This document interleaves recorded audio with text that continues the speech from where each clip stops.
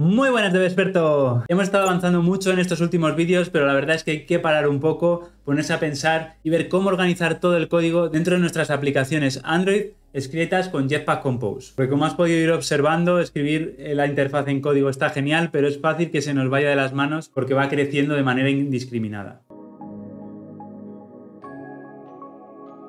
Aunque la forma de escribir código de Jetpack Compose es muy natural y relativamente condensada. Sí que es verdad que en pro de la flexibilidad que nos provee, por ejemplo, cosas como la Slot API que nos dan algunos componentes, esto hace que vaya, el código vaya creciendo mucho y que tengamos que empezar a plantearnos formas de organizarlo para que no se nos vaya de las manos. Recuerda que, por ejemplo, solo para escribir una barra superior con un par de acciones y un título hemos tenido que escribir todo este código.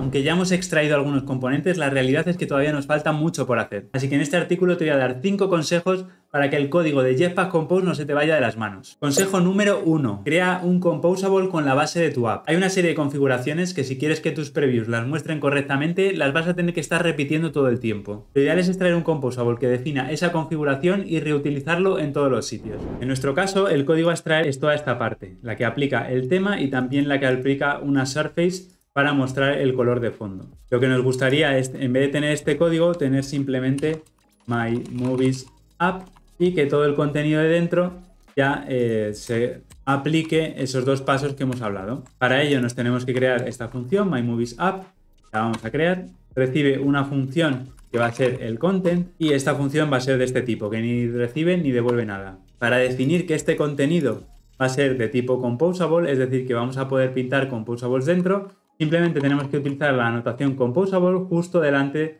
de la definición del, tipo de la lambda. Esta función la vamos a extraer y la vamos a dejar aquí fuera y anotarla con un arroba composable para que se pueda utilizar como otro componente más de los de Jetpack Compose. Por último, el código que habíamos cortado lo pegamos aquí, cerramos las llaves y lo que tenemos que hacer es ejecutar el contenido dentro de este elemento, que al final no es más que un wrapper de esas configuraciones que queremos hacer. Así que nos creamos un composable que a su vez recibe una lambda que va a generar otro composable. Y por tanto, podemos seguir definiendo componentes que luego van a ser traducidos a interfaz de usuario. ¿Esto qué nos permite? Pues que nos vayamos, por ejemplo, a donde tengamos una preview, digamos, por ejemplo, esta preview de aquí, y que podamos incluirla dentro de My Movies App de esta forma tan sencilla. Así, toda la configuración del tema y esa surface que estábamos pintando antes solo en la interfaz también nos la va a pintar en las previews y va a ser una preview mucho más cercana a la realidad.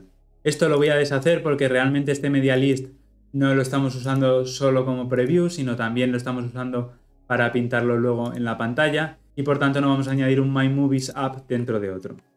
Así que lo voy a deshacer, pero te quedas con la idea de que en las previews se puede utilizar sin problemas ese My Movies app. Recuerda que siempre es muy importante que las funciones composable devuelvan unit, porque una función composable nunca devuelve nada, sino que emite componentes de UI.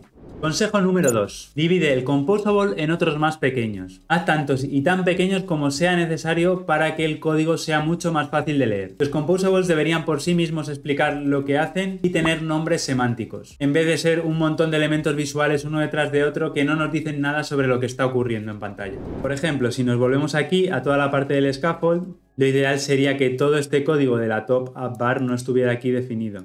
Así que nos vamos a crear un nuevo archivo que vamos a llamar top app bar. Y aquí vamos a cortar todo esto y lo pegamos en un nuevo composable que vamos a llamar main app bar. De hecho, lo interesante es que el archivo se llame igual, así que lo vamos a renombrar a main app bar. Así que lo que vamos a hacer es pegar lo que hemos copiado del otro sitio y simplemente emitir esta top app bar. Aquí en la main activity llamamos directamente a main app bar. Y esto ya obviamente lo podemos dejar en una única línea porque se lee perfectamente. Además, dentro de la mina bar podríamos nuevamente extraer esto como un composable y simplificarlo un poco más. Tenemos un refactor que nos extraiga una función que le decimos que se va a llamar appBarAction. Por supuesto, este appBarAction necesita argumentos. Uno es el image vector, que va a ser de tipo image vector, y el otro, el onClick, que es, es una lambda muy sencilla que ni recibe ni devuelve nada. Así que en el onClick le pasaríamos el onClick que estamos recibiendo por argumento y el image vector iría aquí. En el image vector le definimos el icons default search. Vamos a añadirle el nombre y luego por otro lado en el onClick hacemos lo que estábamos haciendo antes, lo dejamos como un todo. Vamos a poner esto cada uno en una línea y vamos a copiar y pegar para la otra acción default share. Por supuesto, lo ideal es no dejar los composables en un mismo archivo. Por ejemplo, aquí en el main activity tenemos el media list y el media list item. Así que nos vamos a crear uno nuevo, new holding class file, se va a llamar media list. Y aquí podemos llevarnos tanto este como este. Me he dejado una llave por aquí, cortamos y pegamos. Y por último, yo también sacaría My Movies App. De hecho, todo esto que estamos definiendo aquí, la main activity, lo ideal sería que fuera dentro de UI, así que lo voy a mover. Tanto el main app como el media list. Voy a mover aquí a UI. Hay que modificar los paquetes, porque automáticamente no nos los ha cogido. Y lo último que nos faltaría sería extraer del main activity el My Movies App. Lo corto. Me creo aquí en el UI una nueva función que se llama My Movies App y lo pego. Importamos, la hacemos pública para que se pueda hacer desde fuera e importamos aquí en la main activity.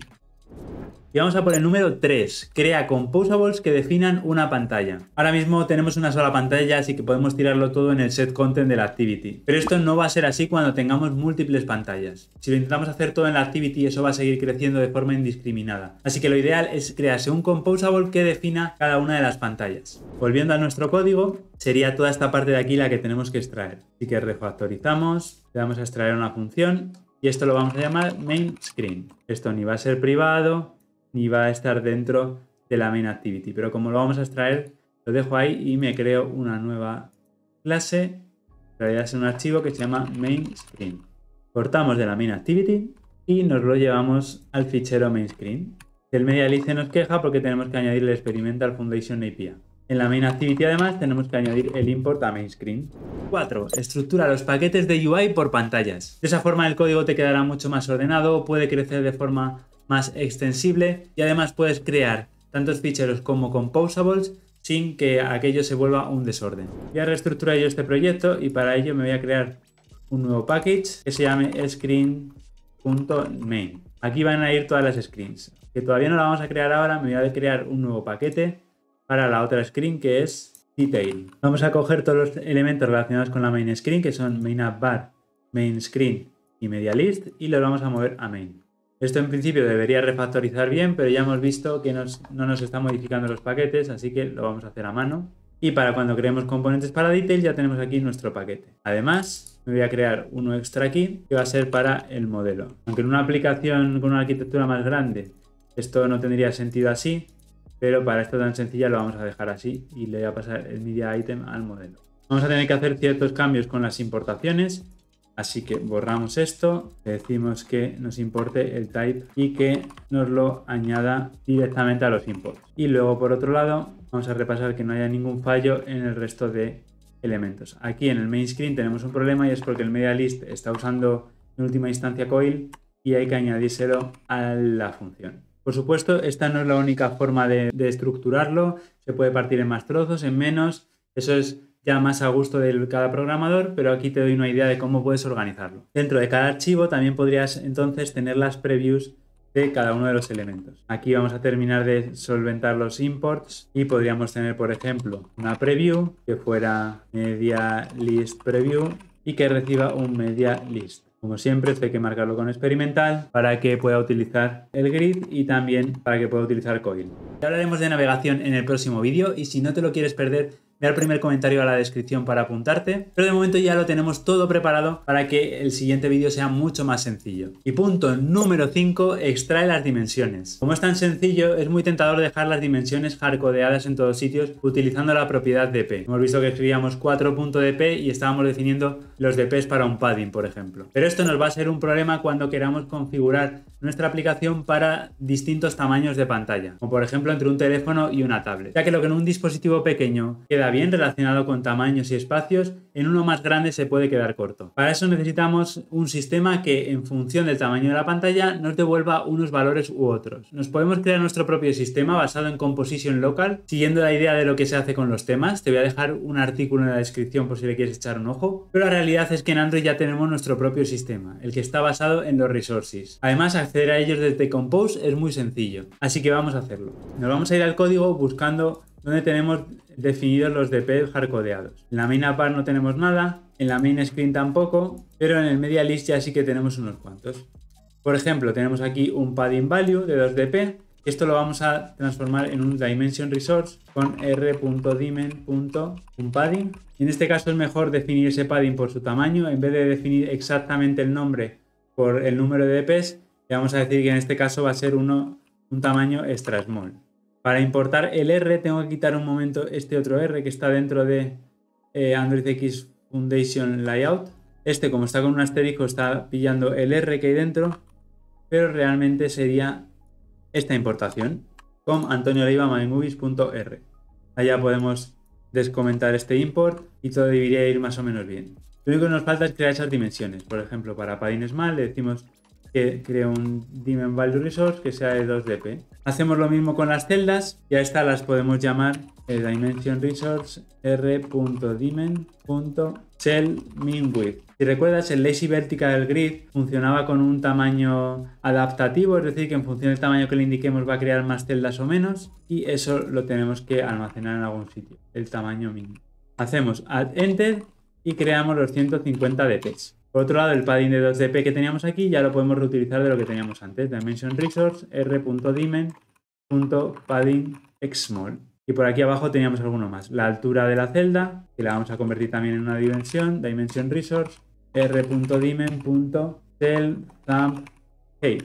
Falta una L aquí. Añadimos y creamos una dimensión de 200 dp, que era la que teníamos anteriormente. Y por último, este 92 dp, bueno, no es el último, es el penúltimo haríamos lo mismo, dimension resource, r.dimen, punto, y le vamos a llamar, por ejemplo, cell play icon size, que le ponemos de dimensión 92 dp. Y ya así, para finalizar, este padding es un poco más grande, es el que yo suelo llamar como medium, pero tú te puedes organizar estos padding como quieras, así que lo vamos a llamar dimension resource r.dimen.padding medium y creamos este padding que va a ser de 16 dp.